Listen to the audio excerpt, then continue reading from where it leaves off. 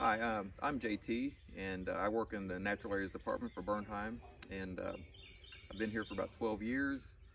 And uh, uh, basically, what I do uh, for the most part is forest restoration, habitat restoration, and um, basically that entails going through disturbed areas and trying to uh, reestablish native populations of plants to restore the habitat for, for all kinds of wildlife. Um, and I like doing that just because it's a very fulfilling job, just because I know uh, my efforts every day make a long-term impact um, for, for Bernheim and, and everybody who visits Bernheim and all the animals.